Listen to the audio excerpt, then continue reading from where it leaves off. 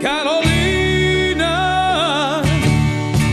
¿por qué te has ido sin hablar? Carolina,